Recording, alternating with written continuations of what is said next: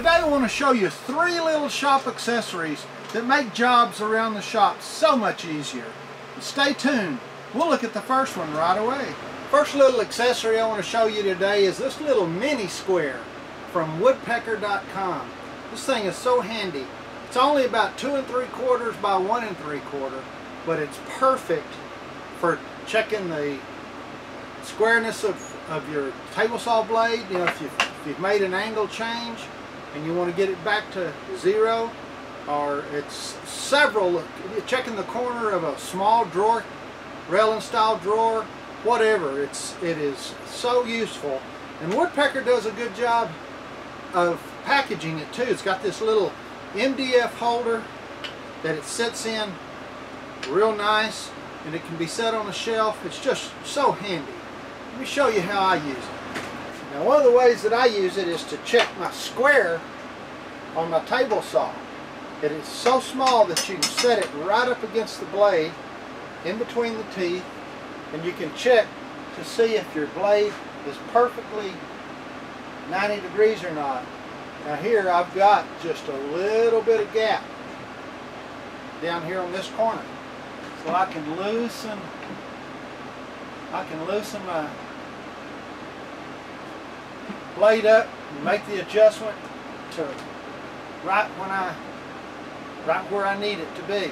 So that is one use for it. Another use for it is you can put it in a small drawer and check square on any one particular corner. Even on the outside corners if you want.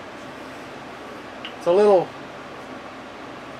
little small mini square from woodpecker.com.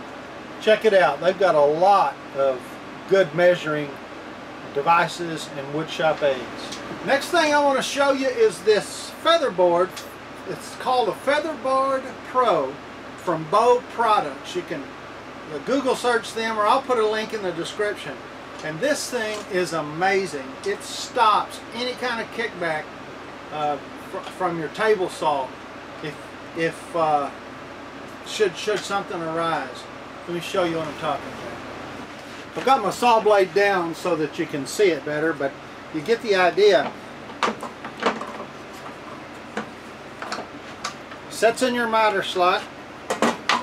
So you get your width that you set. You set this just on the other side of the stock. and push it till this these compress just a little bit. And then tighten this down. And then normally, you know, you can feed your stock through. That's not a problem at all. And you're feeding your stock through. But watch this. You cannot pull that out. I'm trying to pull this back. And the way this is made, these things support feeding through, but they lock up when, when something tries to kick back. You just can't do it adds a lot of safety to your table saw. Item number two, Featherboard Pro from Bow Products. Third little accessory I want to tell you about today is these fence clamps from Rockler. These things are really, really handy. How many times when you're cutting on your table saw, cutting something to width, and you have to set a stop block up over here by the fence? Well, we've all done this thing, you know, with the with the clamp, and and that's all fine and good. But this little accessory fits over the clamp. You take you a piece of wood, you drill a hole in the right size, you set it in there, and then you screw it to your fence.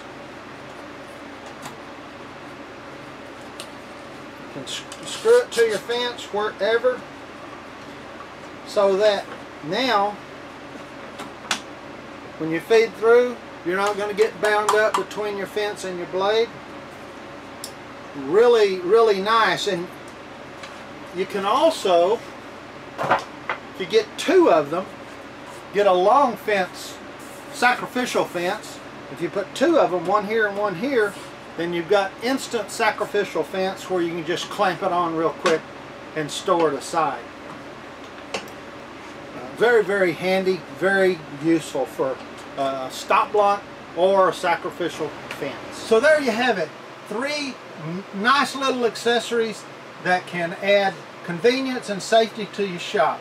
The mini square from woodpecker.com, universal fence clamps from rockler.com, and the Featherboard Pro from Bow Products. Check them out. I'll have links in the description. Appreciate you watching. It's your first time to watch us. We ask that you hit the subscribe button so that you'll be notified when we have more videos coming out. If you like what you saw, give us a thumbs up. Leave us a comment. LLS, I've been calling it. Like, leave a comment, and subscribe. Now, we'll see you next week with another pin blank video. Thanks a lot, and until next time, be safe.